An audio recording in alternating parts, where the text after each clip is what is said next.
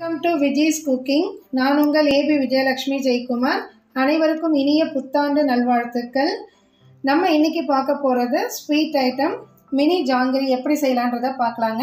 புதிதாக பார்க்கக்கூடிய நண்பர்கள் நம்முடைய விஜய்ஸ் குக்கிங் சேனலை சப்ஸ்கிரைப் பண்ணி தொடர்ந்து பாருங்கள் லைக் பண்ணுங்கள் வாங்க இப்போ ரெசிபி பார்ப்போம். நம்ம நியூ இயர் ஸ்பெஷல் நல்ல ஒரு ஸ்வீட் ஐட்டம் பார்க்க போகிறோம் ஜாங்கிரி ரெசிபி தான்.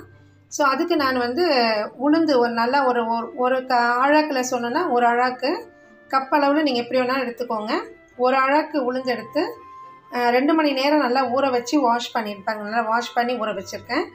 நல்லா ஊற வச்சு வடிகட்டி இந்த மாதிரி நல்லா ஃபில்டர் எந்த ஃபில்டராக இருந்தாலும் பரவாயில்ல நல்லா வடிகட்டி வச்சுக்கோங்க. இது நல்லா நைஸ் பேஸ்ட்டாக அரைக்கணும். அரைச்சிட்டு கா காட்டுறேன். பாருங்கள் இந்த அளவுக்கு நைஸாக அரைச்சிருக்கேன் பாருங்கள் நான் கையில் தொட்டு காமிக்கிறேன். இந்த அளவுக்கு நீங்கள் கிரைண்டர் மிக்ஸி எதுனா அரைக்கலாம். நம்ம ஒரு கப்பில் எடுக்கிறதா இருந்தால் நீங்கள் மிக்சியில் அரைச்சிக்கோங்க. ஒரு ஒரு ஸ்பூன் தண்ணி ஊற்றி லைட்டாக ரொம்ப தண்ணியாக ஆகக்கூடாது நான் எடுத்துருக்க அளவு உங்களுக்கு தெரியும். இந்த மாதிரி இருக்கணும். இப்போ பாருங்கள் இப்படி போட்டிங்கன்னா இந்த மாதிரி வரணும். இந்த அளவுக்கு இருக்கணும். அடுத்தது பார்ப்போம்.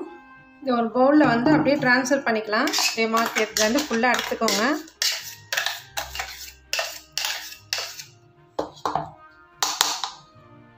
பாருங்க இப்போ இது எல்லாமே வழிச்சு எடுத்துட்டேன் க்ளீனாக இப்போ அடுத்தது வந்து நம்ம இதில் வந்து இப்போ ஒரு அரிசி மாவும் சேர்த்துக்கலாம்.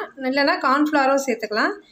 நம்ம எவ்வளோ ஒரு கப்பு உளுந்து எடுக்கிறோன்னா ஒரு கப்பு நீங்கள் அரிசி மாவு இல்லை கார்ன்ஃப்ளவர் நான் இப்போ கார்ன்ஃப்ளவர் யூஸ் பண்ண போகிறேன் நான் ஒரு ஒரு நல்ல ஒரு மூணு டீஸ்பூன் இல்லை டேபிள் ஸ்பூன் சாரி டேபிள் ஸ்பூனில் நான் யூஸ் பண்ணிக்கிறேன். நம்ம எடுத்துருக்க அளவுக்கு நீங்கள் எடுத்துக்கலாம். இந்த பாருங்கள் இதில் அப்படியே போட்டுட்டு இதுக்கு வந்து தேவையான ஃபுட் கலர் அதாவது ஆரஞ்சு கலர் வச்சுருக்கேன். உங்களுக்கு எல்லோ கலர் வேணாலும் நீங்கள் சேர்த்துக்கலாம். பார்த்துட்டு சேர்த்துக்கலாம். ரொம்ப டார்க்காக உங்களுக்கு எந்த கலரில் வேணுமோ நீங்கள் எடுத்துக்கலாம். ஒரு ஒன் பிஞ்ச்லேருந்து ஒன் அண்ட் ஆஃப் பிஞ்ச் ஒரு ஒரு சிட்டிகை இல்லை ஒன்றரை சிட்டிகை தேவைப்படும். கொஞ்சமாக ஒரே ஒரு சிட்டிகை அளவுக்கு அதோட கம்மியாக நம்ம வீட்டில் வந்து ஃபுட் இது வச்சுருப்போம் இல்லைங்களா? ஆப் ஆப்ப சோடா மாவு நம்ம இதை வச்சுருப்போம். பேக்கிங் சோடா எது வேணாலும் நீங்கள் யூஸ் பண்ணிக்கலாம். இப்போ இதை நல்லா நம்ம இப்போ கலந்து கொடுத்துக்கலாம். பாருங்கள் இந்த மாதிரி நல்லா கலக்கிக்கணும். பீட் பண்ணிங்க எந்த அளவுக்கு நீங்கள் ஒரு ஃபைவ் மினிட் ஒரு டூ மினிட்ஸ் இல்லை த்ரீ மினிட்ஸ் நல்லா நீங்கள் ஒரு விஸ்கி இல்லை ஒரு லாங் ஸ்பூனாக எடுத்து நல்லா பீட் பண்ணிங்கன்னா உங்களுக்கு நல்லா ஃப்ளஃபியாக வரும் பாருங்கள் இப்போ எப்படி இருக்குது பாருங்கள் ஃப்ளஃபியாக இருக்குது இந்தளவுக்கு ஃப்ளஃபியாக இருக்குது நம்ம ஏன் வந்து அரிசி மாவு இல்லை நான் கார்ன்ஃப்ளவர் சேர்க்கணும்னு சொல்கிறேன்னா நம்மளுக்கு ஜாங்கிரி வந்து ஃபுல் சாஃப்ட்னஸ் இருக்காது. கொஞ்சம் கிறிஸ்பியாக இருந்தால் தான் நம்மளுக்கு கடிச்சு சாப்பிடும்போது நல்லாயிருக்கும். அது அது மட்டும் இல்லாமல் கொஞ்சம் நம்மளுக்கு வந்து அந்த ரா அந்த உளுந்தோடைய ஸ்மெல் வராமல் ஜாங்கிரி நல்லா டேஸ்ட்டாக நம்மளுக்கு கடையில் எப்படி நம்ம வாங்குறோமோ அதே மாதிரி வரும். பாருங்கள் இந்த அளவுக்கு நல்லா அடித்து எடுத்திருக்கேன். ஃப்ளஃபியாக இந்த மாதிரி ரெடி பண்ணிக்கணும் பேட்டரை இந்த பேட்டர் ரெடி பண்ண உடனே நம்ம வந்து சுடறதுக்கு ஆரம்பிக்கணும். அதுக்கு முன்னாடி நம்ம சக்கரை பாகு காசிக்கலாம் இப்போ ஜீரா வந்து நான் காசிட்ருக்கேன். இது எப்படின்னா ஒன்றும் இல்லை நம்ம ஏற்கனவே காசிருக்கிறது ஒரு கப்பு உளுந்து எடுக்கிறேன்னா ஒரு கப்பு சுகர் நான் ஈக்குவலாக சேர்க்குறேன். கொஞ்சம் அதிகமாக உங்களுக்கு ஸ்வீட் வேணும்னா நீங்கள் ஒன்றரை கப்பு கூட எடுத்துக்கலாம். இது வந்து ஒரு கிளாஸ் தண்ணி ஊற்றி அதில் கொதிக்க வச்சிட்ருக்கேன். இதோடைய பதம் எப்படி வரணும்னா இப்படி தொட்டு பார்க்கும்போது அரை கம்பியாக உடையணும். ஒன் ஸ்ட்ரிங்குன்னுவோம் அதாவது உடையும் அது. ஒரு கம்பி பதமாக வந்துருச்சுன்னா உங்களுக்கு வந்து ஜாங்கிரியில் ஊறாது. ஏன்னா நம்ம வந்து அதை உள்ளே போட்டு உடனே எடுத்துருவோம். டிப் பண்ணி எடுத்துருவோம் ஜாங்கிரியை. அதுலேயே ஊற வைக்க மாட்டோம். அதனால் ஒரு பிசு பிசுப்பு தன்மை இல்லைன்னா அரை கம்பி பதம்னு சொல்லுவோம். அந்த அளவுக்கு வந்தால் போதும்.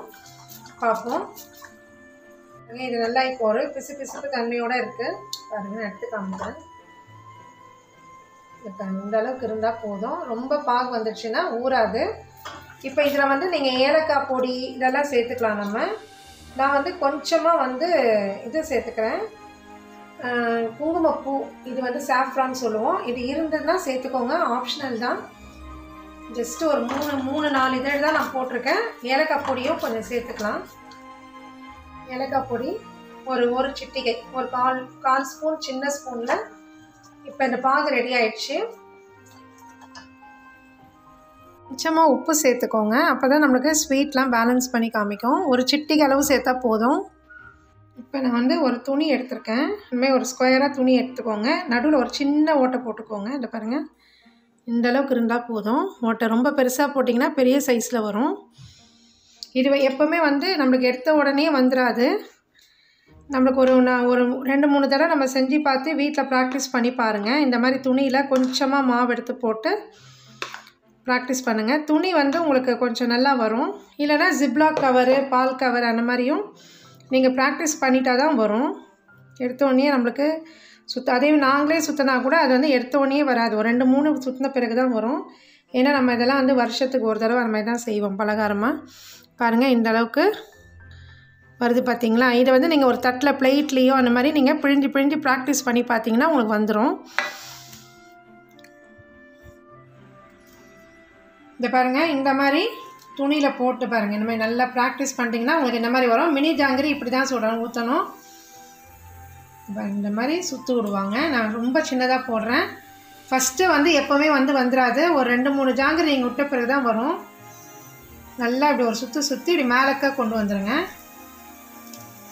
எண்ணெயில் போட்டோடனே எழும்பி வரணும். அப்போ தான் உங்களுக்கு கரெக்டாக இப்போ பாருங்கள் நம்மளுக்கு ஒரு அஞ்சாவது விடும்போது கரெக்டாக வருது பாருங்கள் எப்போவுமே தோசை ஆகட்டும் எதாகட்டும் நம்மளுக்கு ஒரு ப்ராக்டிஸ் வந்து ஒரு நாலஞ்சு ஊற்றும் போது கரெக்டாக வந்துடும் இந்த பாருங்கள் இப்போ பாருங்கள் கரெக்டாக வருதுங்களா? பாருங்கள் நல்லா. உங்களுக்கு நீங்கள் தட்டில் ப்ராக்டிஸ் பண்ணிட்டீங்கன்னா உங்களுக்கு ஈஸியாக வந்துடும் சின்ன சின்னதாக இருக்கும்போது சாப்பிட்றவங்களுக்கும் ஒரு இன்ட்ரெஸ்ட் இருக்கும். இது எல்லாமே எடுத்துடலாம். எண்ணெய்லாம் அந்த கொதிக்கிறதெல்லாம் நின்றுடுச்சு பாருங்கள் நல்லா சிவந்துடுச்சு. எடுத்து நம்ம ஜீராவில் போட்டுடணும். எல்லாமே. கம்ப்ளீட்டாக பாருங்கள் நல்லா குட்டி குட்டியாக அழகாக நம்முடைய மினி ஜாங்கிரி. இது வந்து ஒரு ரெண்டு செகண்டு இருந்தால் போதும் ஜீராவில் நல்லா கலரி விட்டுட்டு உடனே ஒரு பிளேட்டில் எடுத்து வச்சுருங்க. அது அப்படியே ஆறிடும். நம்முடைய மினி ஜாங்கிரிகள் ரெடி ஆகிடுச்சு பாருங்கள் சூப்பராக இருக்குது ஜீராவில் நல்லா ஒரு அஞ்சு நிமிஷம் ஊற வச்சு எடுத்திங்கன்னா நல்லா ஜூஸியாக இருக்கும். உங்களுக்கு பார்த்தாலே தெரியும். நல்லா கிறிஸ்பியாகவும் இருக்குது பாருங்கள் நல்லா கிறிஸ்பியாக இருக்குது கண்டிப்பாக நீங்களும் ட்ரை பண்ணுங்கள் நம்ம அடுத்த வீடியோவில் பார்ப்போம். தேங்க்ஸ் ஃபார் வாட்சிங்